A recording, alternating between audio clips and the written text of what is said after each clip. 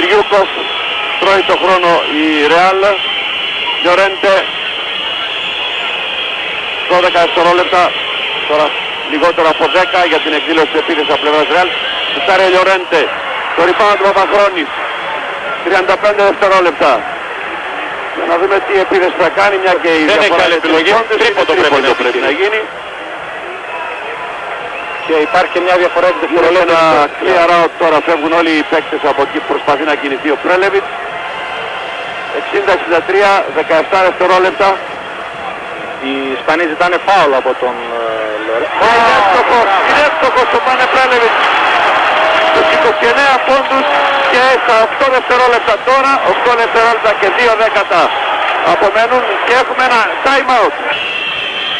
Ε, ξαναρχίζει το παιχνίδι στην Άντα, αγαπητοί τηλεθεατές, απομένουν 8 δευτερόλεπτα, το σκορ είναι 63-63, 8 δευτερόλεπτα οι παίκτες του ΠΑΟΚ πιέζουν.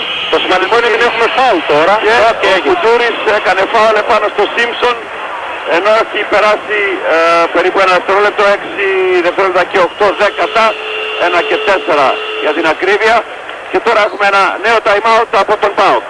Το time out τελείωσε, ο Σίμψον ε, είναι στην ε, γραμμή των φάουλ στην ρακέτα του ΠΑΟΚ, απομένουν 6 δευτερόλεπτα και 8 δέκατα, 63-63 το σκορ, να δούμε κατά πόσον ήταν ηθελημένο το Είναι. φάουλ από πλευράς Κουτούρη. Είναι ρόσκι ρουλέτα τώρα. Αν εξτοχίσει αυτό Αυτό και λοιπόν έχει το τύχει φάουλ το από τον φάουλ. Σίμψον. Ο Φασούλας έκανε την μπάλα και με αυτό το καλάθι ο Μπράουν δίνει τη νίκη και το κύπελο στην ομάδα του. Να η πιο άτυχη στιγμή αγαπητοί τηλεθεατές του αγώνα. Ο Παναγιώτης Φασούλας. Ο, ο παίκτης ο οποίος σήμερα ήταν εκπληκτικός. Έκανε φοβερή άμυνα. Σημείωσε 17 πόντους με 57%. Έκανε αυτή τη λάθος πάσα που έκλεψε ο Ρίκι Μπράουν και ακριβώς με την εκπνοή του αγώνα πέτυχε το 63-65. Η πιο άτυχη στιγμή του αγώνα.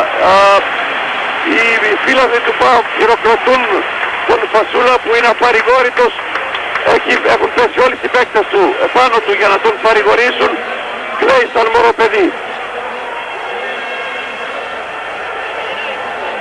Βλέπουμε σε επανάληψη το φα... την ε, λάθος πάσα του Φασούλα και το καλάθι του Ρίκι Μπράουν όσο ψηλά και αν πήδηξε ο Φασούλας η μπάλα κατέληξε στο καλάθι του ΠΑΟΚ για να κερδίσει η Ρεάλ με αυτόν τον ε, δραματικό τρόπο το κύπελο και να το πάρει από τον ΠΑΟΚ που το κέρδισε πέρσι στην Άντ. Κύριε Κιμουρτζόγλου.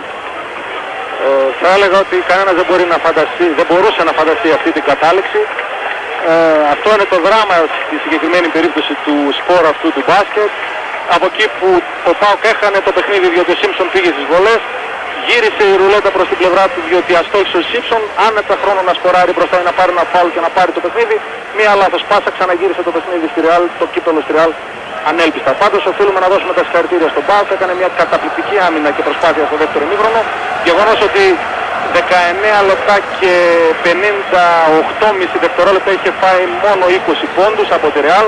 Νομίζω ήταν αυτό μια σούπερ προσπάθεια και ειλικρινά θεωρώ ότι είναι πάρα πολύ άδικος ο Πάοκ που δεν μπορεί να φέρει το κύπελο ξανά στην Ελλάδα.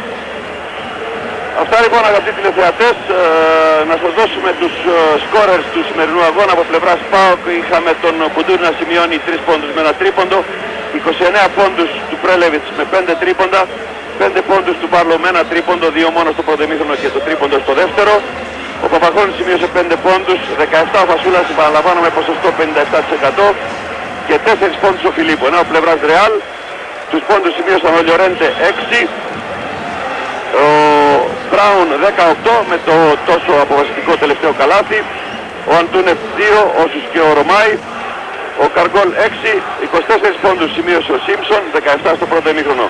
Και στους 24 αυτούς πόντους είχαμε 4 τρίποντα, εδώ, ενώ βλέπουμε σε επανάληψη το τελευταίο καλάθι ε, για, τον, ε, για τη Ρεάλ από τον Μπράουν και ε, ε, στους 7 πόντους έφτασε ο Μαρτίν.